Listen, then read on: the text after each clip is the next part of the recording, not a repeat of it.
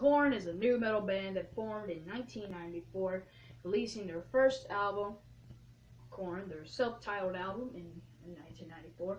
Ever since then, they have released 11 albums. Some albums including Life is Peachy, Follow the Leader, and and their excuse me, latest album, The Serenity of Suffering. But how would I rank their discography? Now, I hope y'all liked that Kendrick Lamar video I did. Uh, I'm actually really happy with it, but not completely. But I promise I can do better. Don't worry. I will be filming my recovery review this weekend, and the Marshall Mathers LP2 review will be reviewed next weekend. So, hope y'all ready for that. And, and let's get started. Just to remind y'all what um um, albums I'm talking about. I'm talking about their self-titled album, Life is Peachy, Follow the Leader, Issues, Untouchables, uh, Take a Look in the Mirror, um, See You on the Other Side, Untitled, Korn 3, The Paradigm Shift, The Path of Totality, and Korn 3. Yeah, so Hope y'all like this video, and let's get started with number 12. At the lowest spot of the list, I put their 2007 album, Untitled. Now, after the release of their um album, See You on the Other Side, which I'll get into later on the list, um, I was sort of disappointed with Korn. Like, their non-singles were really dragging the albums down a little bit, which you kind of have to expect, honestly, with like bands or something like that. But sometimes non-singles can work for certain people, like Eminem or Metallica or even Ozzy Osbourne. But with Korn, it just sort of does not work. And their untitled album is easily the worst Korn album I've ever listened to. Now, the reason I put this here is that it's pretty boring. It's a very boring album. This, it's not like encore type of terrible, but it's still one of my least favorite albums I've heard of all time because I was hoping Untitled. I had so high expectations. I was hoping for Untitled to be a good album, but nope. Only one good saving grace, and that was the song Evolution, which is my favorite song off the album. But easily Untitled is the worst Korn album. Like all the non-singles are just boring and stupid. Um, which I hate that. I hate I would have I hate putting this album here. But it deserves it because it was such a failure. And that was Untitled. Um, at the second lowest spot, I put Korn 3. Or Remember Who You Are. Or Korn 3, Remember Who You Are. I don't know. I'm just going to call it Korn 3. It's simpler. Now, Korn 3 is an album I actually don't hate. From the list all the way down, from this album to down, these are albums I do not hate. But Korn 3 is still not that good though. Um, as I stated earlier, the non-singles do kind of drag the album down. Um, it's just kind of stupid that I would call it Korn 3 because there was no trilogy going on when this album came out. So it's pretty freaking dumb of him to do. But one thing I do like this is this one has like a more of a raw vibe to it, which I like that. And and the guitar playing and the instrumentals are just freaking great. But they did their blind live um, cover. I think it went on for way too long. It's like I was expecting the guitar to go on while the drums were going, but I had to wait for like probably two minutes for that to start. But what do you expect? It's alive, so you kind of expect something out of that.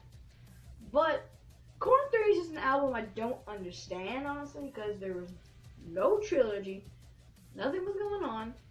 Remember who you are is one the, one of the, it has nothing to do with Korn, But the bad part about it is that it's all just meh, honestly. Kind of like with the rest of Untitled, but Untitled was worse. But do I think Korn 3 is terrible? No. Is it great? No. Is it good? Eh. Is it is it meh? Yes. And that was Korn 3, my number 11. And the number 10 spot is their most recent album, The Serenity of Suffering. Now, most people really disliked Korn after the release of the Path of Totality, Untitled, The Paradigm Shift, and Korn 3. Those are like the main albums they released after. But after Untitled and The Path of Totality, I was hoping Korn would come back strong with a better album. And with um, The Serenity of Suffering, I sort of got that. I sort of did, but not completely though. This album is not perfect at all. Probably the only saving grace, only saving graces are, are "Rotting in Vain," "Take Me," and "A Different World." Yeah, "A Different World." Those are the only three good songs on here. Um, the rest of it was just, it's just, it's, it's Korn three again. It's sort of like Korn three again. It's just meh. Honestly, I really hate to say that, but do I think it's terrible? No. But is it great? No. It's really not great at all. This is sort of um um like the um wait, what is it? What is it? Um Mad Max Beyond Thunderdome for for Korn. I mean this is a watchable this is a watchable Mad Max um, Beyond Thunderdome is a watchable film and uh, Korn Three is a uh, Korn um, Serenity of Suffering is a listenable album, but they still have a ton of problems, and you may, they make you just not want to come back to it. So that's why Serenity of Suffering is lower.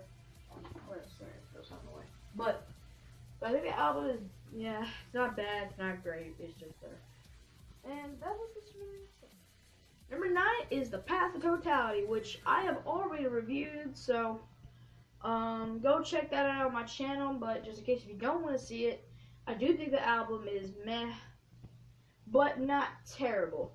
This is their this this is Korn's dubstep nu metal collaboration, and it's very very weird. Besides the Skrillex collabs the album is just meh. Like the songs, I, I, people like Get Up from the album. I don't. I don't like Get Up. It just doesn't sound good, honestly. Um, Narcissistic Cannibal is the best song off the album because it has like a gritty, gritty sound to it, which I love that, which you expect from metal. But the good parts are the Skrillex collabs, and the bad parts are is basically the rest. But um, this is a listenable album. I don't think you can you should. Well, you can skip it if you want to, but it's not horrible or anything. It's just there. But back to totality, it's not great. It's not bad. It's just there. And at number eight is their um is the first Korn album I ever listened to, and that was "See You on the Other Side." which was released in 2006.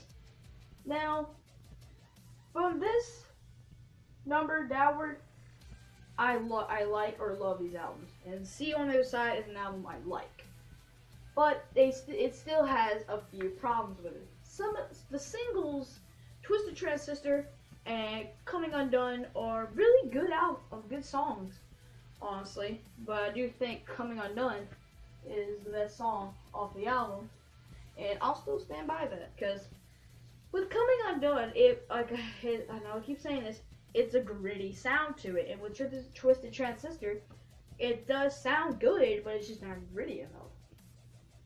But my main problem with this album is the non-singles songs such as um, Love Song, is it Love Song or Love Song? I have no idea what it's called. Um, Politics and Hypocrites are the three worst songs off the album. Hypocrites is a song that you can easily skip. It's very, it's really, really not good. It, I don't even know what it even talks about. I think it's just this sort of like the Untitled from Eminem on Recovery, which I'll get into in my Recovery review. But See You on the Other Side is an album I like and, and and at number seven, I put The Paradigm Shift, which was released a couple of years ago, probably 2013, I think, somewhere around there. But this album is an album I like. I do like this album, but mainly only for one song though, and that was Never Never, which was the the WWE Tables, Ladders, and Chairs theme song for 2013 or 14. I forgot. Either one of those. I think it was 13. But the Paradigm Shift is an album I think is fine. It's a fine album. I do kind of disagree putting this album on my number seven, but I should have thought about this list way before I did this video. But there's nothing really to say about the Paradigm Shift. I do like the sound to it. It sounds better, I, I guess. I mean, it's it's it's fine of an album. It's good, mainly for Never Never, but it's just the Paradigm Shift is just there. But it's not it's not bad, but it's not perfect though. I just think it's good only for one song which is Never Never, which is a song you can just easily listen to. The rest you could probably just skip, honestly. I don't really care um, about the rest of it. That's why I only listen to Never Never, which is the only good song on the album. But, Paradigm Shift, it's there. I do disagree putting it at number 7. I should have put CM on the side at number 7 and Paradigm Shift at number 8. But, uh, I did keep my notes the truth is so so I put the paradigm shift right here. And that was and number six is Take a Look in the Mirror, which was released in 2003. Now, from this album onward, I love. I love Take a Look in the Mirror. The reason I love this album is because of the gritty sounds to it songs such as Y'all Want a Single or Right Now or many songs like that. Like, it's grittier, a raw vibe to it, especially with right now, like dark, sort of like weird things talked about on the song, which I like it when Korn goes creepy, though it doesn't really work with metal, but Take a Look at the Mirror is a good album. Um, the bad part about this album are some of the, uh, again, some of the non-singles are not really that good. The non-singles I skip every time um, I listen to this album. I mainly just listen to Y'all Want a Single and Right Now. Those are the only songs I listen to on the album. But it's it's a good album, mainly for those songs. And um, during this time, this is when Korn was starting to well, starting to progress down. I think a little bit after Issues is when Korn started to go down a little bit. But take a look in the mirror was still good though. So it wasn't like terrible or nothing, but yeah, this is that was that the that was when Korn started to go down. And also there's a cover of one by Metallica. Korn covered it. Which I liked it. I liked that cover.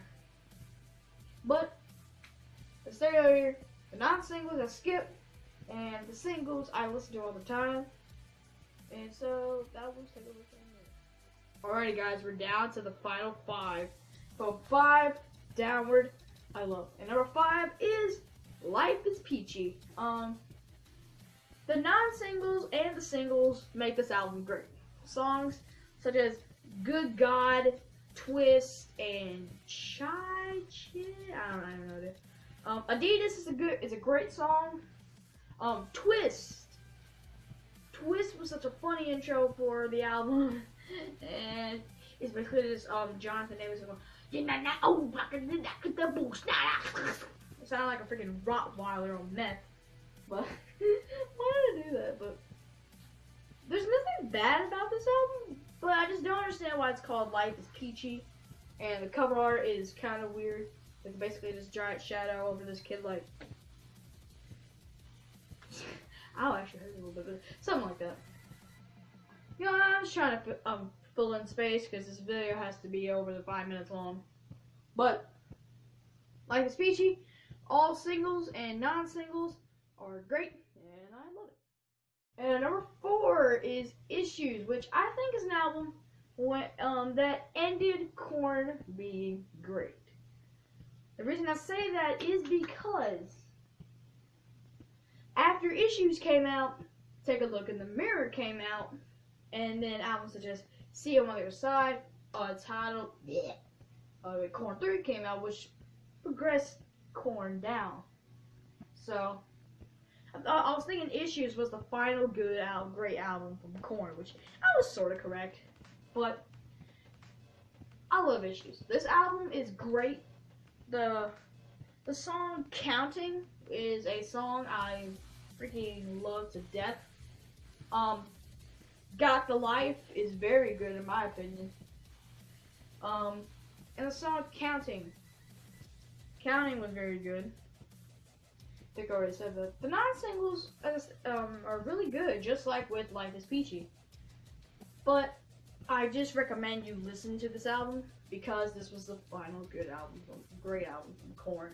So, and oh god, doing these videos. But that was issues. Now we're getting to the final three. And at number three is Untouchables. Now, with this album and the final two albums, these were when Korn were in their great days. Untouchables has songs such as Alone I Break, Thoughtless, Here to Stay, um, another good song. Um, Blame was a great song. I mean, Untouchables was great. It's just the, the stereotype. This is when Korn were in their good days, and once Take a Look at the Mirror came out, their days started to get ruined. But um, a non-single on the album is probably the weakest part about the album, but it's not terrible. But Untouchables is a perfectly listenable album because of songs like um, Here to Stay or Alone I Break, which was on their Greatest Hits Volume 1 edition. Oh, by the way, Greatest Hits Volume 1, we didn't release in Volume 2. We're waiting. But that was Untouchables, and now we're getting down to the final Alright, guys, we're down to the final two. And my number two pick is Follow the Leader, which was their third studio album to come out after Life is Peachy. And it is perfect. It is a perfect album. Such as um, Falling Away From Me, Freak on a Leash. Um, this it those songs just made this album perfect the way it is. But it's Follow the Leader my favorite album? Uh, it's very difficult. Because I love this album and my number one pick. But I gotta say truthful to myself. I thought number one was better than Follow the Leader. That still did not mean Follow the Leader was not great because I still really do enjoy this album for, for uh, Away From Me and Freak on a Leash. And the Dante Ross remix on the Greatest Hits Volume 1, I think is pretty good. So, um, Follow the Leader is one of the more recent Korn albums I listened to, and I'm very happy with the way. Um, very happy I got to listen to. Look at my beautiful hair. Oh, freaking bored. And now, for my number one pick, y'all didn't know, number one is. like the Shape Page 31 first said, you gotta look for the best, you gotta look at the first. Korn, self-titled album, released in 1994.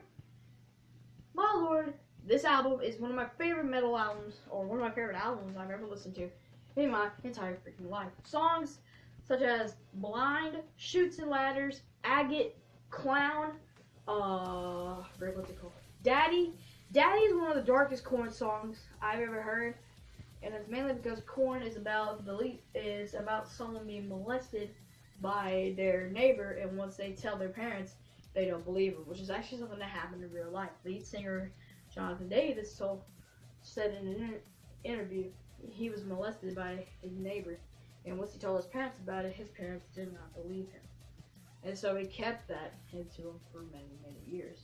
In which that is dark. That is very dark and very sad, honestly.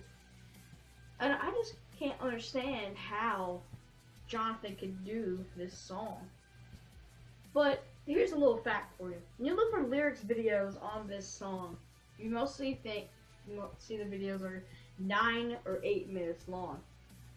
But when you look up the original song, it is 17 minutes long and 34 seconds. What the heck? Um, mainly after the nine minute mark, it just starts going to silence, and then at the 17 minute mark, um, noise comes back on. It is just very very weird. But